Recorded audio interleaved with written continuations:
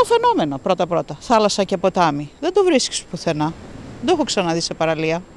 Το πρωτοφανές αυτό φαινόμενο στην παραλία του Γερανίου Χανίων που για τους επισκέπτες μοιάζει εντυπωσιακό αλλά ουσιαστικά διαταράσει το περιβάλλον και εμποδίζει την πρόσβαση των λουόμενων στη θάλασσα κινητοποιεί τις αρχές μετά τις διαμαρτυρίες κατοίκων και επιχειρηματιών.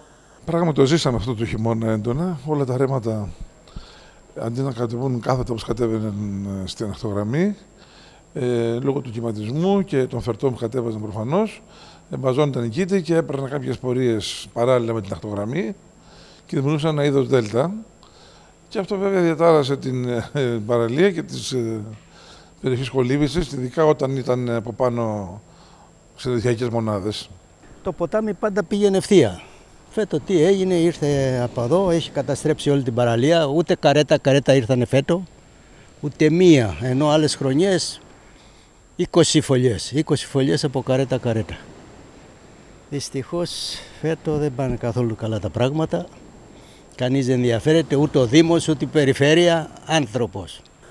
Ο Δήμος Πλατανιά έχει ξεκαθαρίσει ότι δεν είναι αρμόδιος για τη διαχείριση των ποταμών και ρεμάτων. Από την πλευρά της Περιφέρειας Κρήτης, ο Περιφερειακός Σύμβουλος Νίκος Καλογερής, μέχρι χθες Αντιπεριφερειάρχης Περιβάλλοντος, διαβεβαιώνει ότι η παραλία θα αποκατασταθεί παρά το γεγονός ότι το πρόβλημα είναι σύνθετο.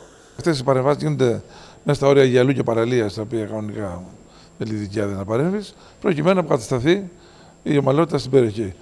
Το συγκεκριμένο ρέμα δεν είναι το τελευταίο το οποίο έχει απομείνει και είναι θέμα μιας ενό δύο ημερών και μάλιστα για να πάνε να το καθαρίσουν για να το διανοίξουν. Η διευθέτηση των ποταμών, κυρίως μετά τις γεωλογικές και μορφολογικές αλλαγές που προκάλεσαν τα καιρικά φαινόμενα του περασμένου χειμώνα, αποτελούν ζήτημα που καλείται να δρομολογήσει κατά προτεραιότητα η Περιφερειακή Αρχή.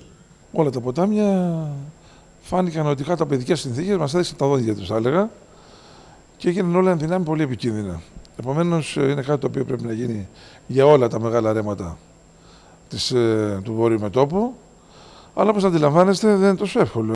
Για τις αναγκαίες παρεμβάσεις στα ποτάμια απαιτούνται μελέτες και μέχρι σήμερα εγκεκριμένη μελέτη έτοιμη για εφαρμογή υπάρχει μόνο για τον ποταμό Ταυρονίτη.